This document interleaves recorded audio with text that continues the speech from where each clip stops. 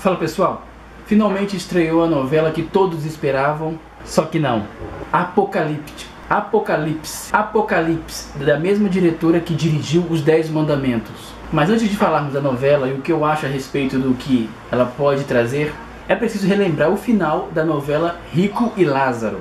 O que todo mundo esperou, como que Rico e Lázaro, a parábola que Jesus contou, iria se encaixar na história de Daniel. E agora, meu irmão, agora, quem acreditava e defendia que a parábola que Jesus contou de Rico e Lázaro foi uma história verídica, é agora que vai defender mesmo. E vai ficar dizendo: não, você viu lá, Daniel foi falar com Lázaro. Daniel tentou até ajudar Lázaro. É agora que vai ficar martelando isso mesmo, quando na verdade nunca passou de apenas uma parábola.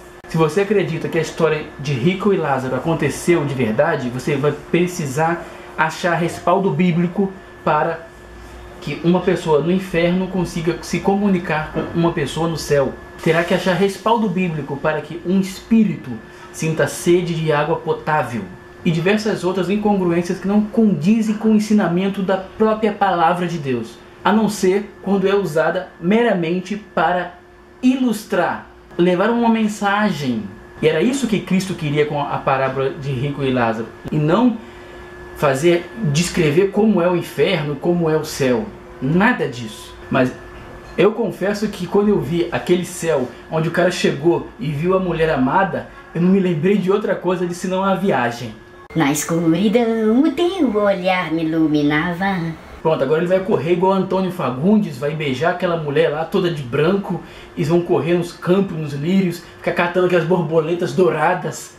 Coisas do passado são alegres quando lembram as pessoas que se amam.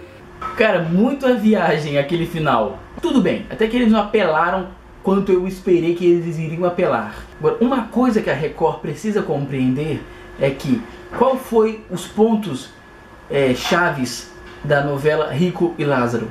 O que que prendeu a atenção do público? Não foi aquele triângulo amoroso xoxo, nada disso. O que prendia realmente a atenção do público foram os eventos bíblicos descritos ali, encenados. Toda vez, toda semana que tinha um evento bíblico, a audiência ia lá em cima, porque o povo ficava esperando.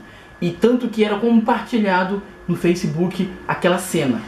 Agora, o triângulo amoroso é, é o de menos. E é justamente o que eles mais tentam enfatizar: o triângulo amoroso do que o contexto bíblico, do que a cena bíblica mesmo, a história bíblica.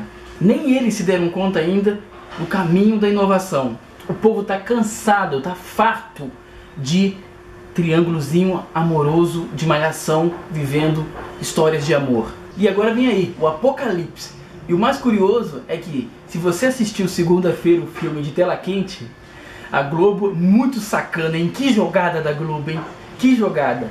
Ela pega e coloca o filme O Impossível. Porque para as pessoas quando assistirem a abertura, os primeiros capítulos, né, da novela Apocalipse, saberem de onde foi tirado a cena. Porque é a mesma cena. A Globo fez questão de pegar e enfatizar isso. Ó, foi daqui que eles tiraram e jogou o filme, O Impossível. Sinal que as novelas da Record estão incomodando. Sinal que a audiência da, das novelas, sim, estão incomodando. Agora vamos analisar aqui a proposta da, da novela Apocalipse. Olha só o, os erros. O que, que acontece com esses diretores executivos? Cara, de onde eles tiram isso? Diversos atores do elenco da novela Rico e Lázaro já estão na novela Apocalipse. Como é que pode isso? Eles nem descansam a imagem do elenco. Existe uma coisa chama não cansar a imagem do ator. A pessoa que está assistindo ainda nem desassociou direito a imagem do personagem do ator. E ele já é inserido num novo papel ali diariamente na escuridão o teu olhar me iluminava. Mais um respaldo para a viagem. Só pode ser reencarnação. O próprio ator começa a entrar no automático assim. Cara, sinceramente, eu acho que a minha opinião, ela não só merece ser ouvida, como merece ser levada a sério. Porque eu não entendo nada de novela, muito menos de atuação, teledramaturgia, e tô dando uma, e eu tô conseguindo perceber isso. Se eu, um semi-analfabruto, tô vendo isso, que dirá as pessoas que entendem um pouco mais? Que dirá as pessoas que assistem consecutivamente? Agora, ainda na escolha do elenco, vale a pena aqui também parabenizar e ressaltar a ideia de ter colocado o Pedro Maroni, se não me engano, o faraó, né? O Ramsés lá, o faraó dos Dez Mandamentos, como vilão dessa novela. Isso aí foi uma sacada hollywoodiana, cara. Hollywoodiana. Usar o histórico do personagem no mesmo, na mesma linha de papel. Ele foi o faraó e agora ele é o anticristo. Cara, isso aí foi genial. Hollywood faz isso o tempo inteiro. O ator começa a criar uma identidade de atuação. Muito melhor do que ter jogado o cara lá no Bom Dia, lá no. Como é o nome daquele programa? Muito melhor do que tê-lo jogado no Hoje em Dia, quando o apresentador precisou sair de férias. Cara, o cara tava todo perdido e não tinha nada a ver com a imagem do personagem que tinha virado um sucesso, porque ele tinha virado meio que um, um embaixador da própria novela. Aonde a novela ia inaugurar em algum país, ele ia lá representar o elenco. Como é que agora pega o cara que estava representando o elenco da novela em diversos países e põe ele para apresentar um programa na parte da manhã? O cara nem, nunca tinha feito nada parecido. Cara, que, que burrice. E agora não, agora ele surge como o anticristo. Cara, que jogada de mestre. Se você assistiu o primeiro capítulo, certamente você também percebeu é, que a dificuldade de costura ali que vai haver no roteiro. São diversos núcleos que não, te, não tem nada a ver um com o outro e eu acho que o caminho não é esse. Por que os Dez Mandamentos foi um sucesso? Porque até mesmo a novela de Josué também acabou embarcando um pouco do sucesso dos Dez Mandamentos porque os núcleos estavam costurados. Mesmo que cada personagem ali tivesse ali o seu ideal, tivesse a sua história, os núcleos estavam costurados pelo mesmo roteiro. E ali os, os núcleos estão muito distantes. Então cria focos de histórias muito separadas que podem acabar fazendo com que a atenção do telespectador se perca e se canse. E você viu ali que parece que quem vai ser a mãe do anticristo é uma judia. Olha, eu acho que isso não tem nada a ver. Na minha opinião aqui, posso colocar uma das minhas teorias loucas em prática aqui? Eu acho que o fim está escondido no começo. Quando foi que o diabo entrou na terra? Quando o homem quis ser igual a Deus.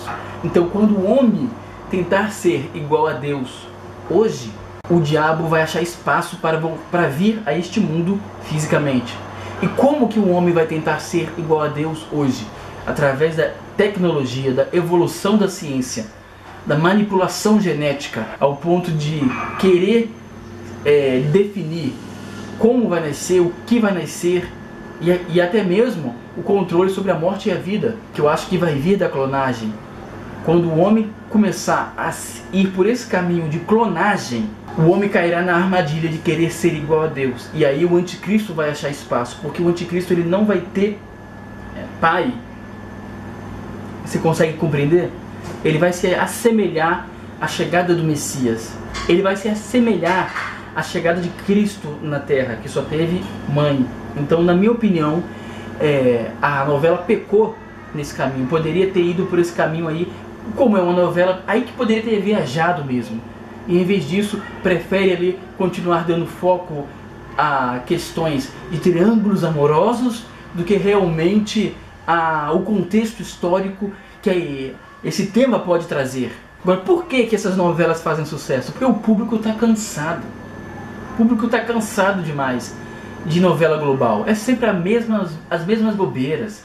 É sempre o José Maia pegando todo mundo. É sempre ali uma heroínazinha boba que não tem graça e acaba é, casando com um cara rico. É sempre a mesma coisa, aí é traição, adultério. Então, é sempre as mesmas coisas. Então o povo tá, o povo tá cansado. Então tenta encontrar na Record uma proposta diferente. Se a Record entender isso, que o povo tá está querendo uma proposta diferente, ela terá sim o seu sucesso. Agora, se ela tentar ficar imitando a Globo, principalmente no erro em, em ficar colocando muitos ex-globais. Isso parece que a pessoa é demitida da Globo já vai direto ali, já tem um cara da Record na porta pegando, colocando ela dentro da van e levando para Record. Só pode, porque isso é um erro. As pessoas querem coisas novas, atores novos, histórias diferentes e uma proposta diferente, histórias com conteúdo. Te amo. Bom, gente, esse foi mais um vídeo. Espero que você tenha gostado. Ah, é preciso dar aqui um aviso muito importante. Estou sendo boicotado aqui no YouTube. Você já deve ter ouvido isso em alguns outros canais. Postei um vídeo aqui muito interessante sobre o sexo e a espiritualidade e ninguém foi avisado. Ninguém. Os meus amigos todos comentaram que não receberam a notificação. Por isso é muito importante. Nós estamos numa guerra. Certamente aquele vídeo onde eu fiz sobre terreiro de macumba evangélico, ele deve ter sido é, muito de denunciado. Então eu preciso da ajuda de vocês. Preciso que vocês ativem o sininho, entendeu? Ou no celular tem uma catraca aí você ativa para receber as notificações. Preciso que vocês compartilhem o vídeo e curtam o vídeo para que o nosso canal ganhe cada vez mais relevância. Ok? A paz pela espada. Te, amo.